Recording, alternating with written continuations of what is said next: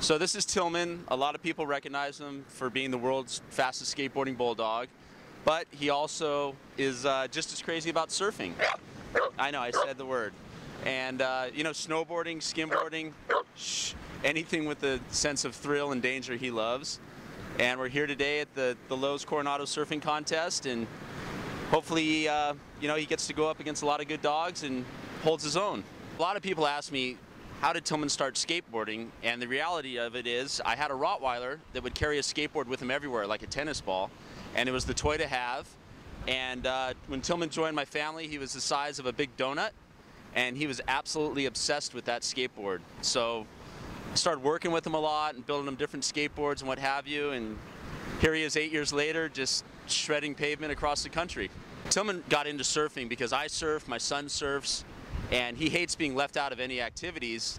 So during one summer, he was absolutely obsessed with surfboards, just like he is skateboards, and now I can't keep him off surfboards. So, you know, anything with a sense of thrill and where there's a wipeout involved, he's all for it, and he absolutely loves surfing just as much as skateboarding. Basically, Tillman got discovered. I made a little video of him skating around Santa Barbara, put it on YouTube, and the next day my phone rang like 5,000 times and it kind of changed his life. From there, he became a spokesdog for Natural Balance Pet Foods, been featured in like five Rose Parade floats, and hang on, Tillman. hang on, hang on. And he loves golf carts. If I haven't mentioned that, Tilly. Sorry, we have a golf cart. so, anyways, uh, after his YouTube video went on the air, and got discovered. Uh, Natural Balance Pet Foods hired him to be a spokes dog. He's been featured in numerous Rose Parade floats. He's actually an honorary U.S. Marine, um, featured in quite a few commercials, and uh, he's actually in the new Mini Cooper car commercial skating through downtown LA. So he, he gets around, and it's definitely changed my life. I never in a million years thought that I have a dog that was famous and popular and as talented as him. And unfortunately, he can't drive a car, so he still needs me. Otherwise, um, I'd be out of a job too.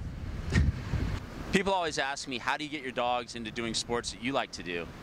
And I always tell them, you get out of it what you put into it. In other words, Tillman comes with me everywhere, whether it be the store, you know, everywhere we go together. And, um, you know, I just make it really exciting for him to get into surfing or snowboarding. And he just loves it. You know, obviously, not all dogs are going to surf and snowboard and skate, but you know? Most dogs like to keep their owners happy, so you never know, you might have the next Tillman out there, you gotta try.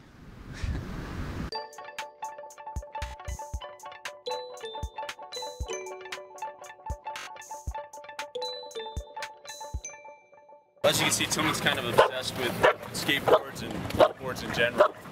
Um, he's just not normal, you know? He's, he's uh, you know, people always ask, do you make him do it? And I'm like, he kind of lives for it. So, yes, buddy, I know. I know.